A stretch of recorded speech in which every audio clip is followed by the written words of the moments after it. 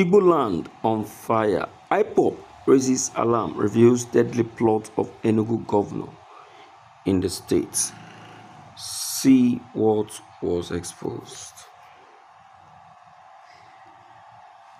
See, let me tell you indirectly, direct or indirectly, I will tell you that the IPOB has been of great help to Nigeria as a whole, not just to the southeast.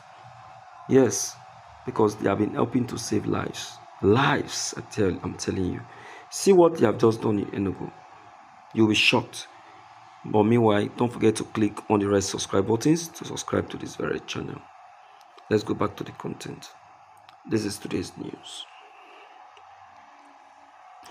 The indigenous people of Biafra IPOB has leveled serious accusation against Governor Peter Mbah of Enugu State, alleging that his action are stalking crisis and exacerbating insecurity in communities across the state.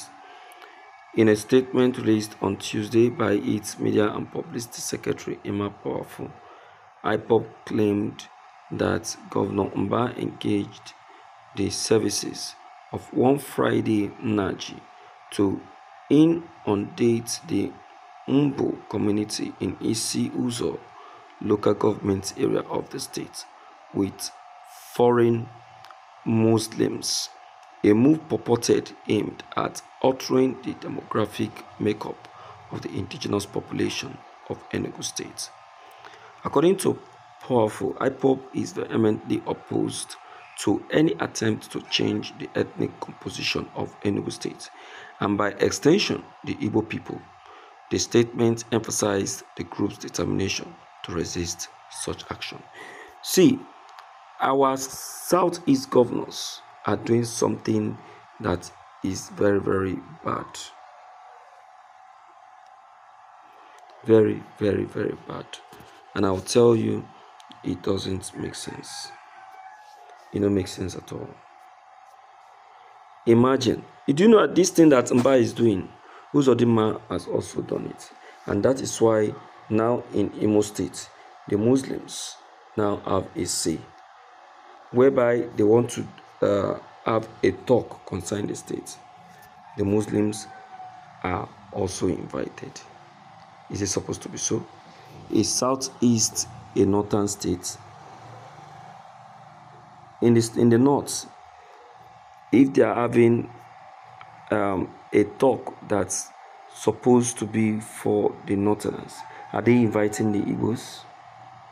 Uzodimma went and made a Muslim an emir in Imo. Imagine. So we are the one causing all our problems and also killing our people. Which doesn't make sense at all, if you ask me. It doesn't. Anyway, I've spoken the one I can say. Um, please, my able listeners listening to this very broadcast, um, please, you can quote me wrong if I've said anything not correct. Don't forget to click on this red subscribe buttons to subscribe to this channel so that each time we upload any new videos you will be updated.